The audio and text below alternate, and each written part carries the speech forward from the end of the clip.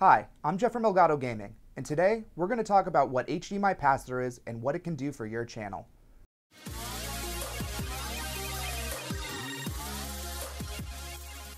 HDMI pass-through eliminates the need of using a video splitter when recording or streaming gameplay. Normally, to play a game console, you connect an HDMI cable from the HDMI out of the console and plug it into the HDMI in of your display. However, to record a video with a capture card, you have to plug the HDMI out of the console into the HDMI in of the capture card. But how do you now connect the console to your display, since it only has one HDMI output?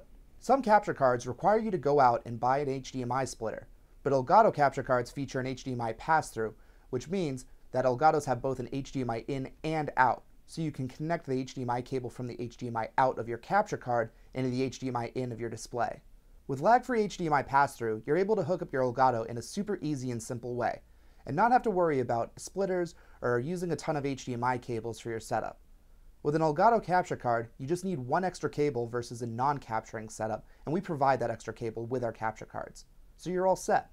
Hopefully this video sheds a little bit of light on the HDMI pass-through in case you didn't know about it.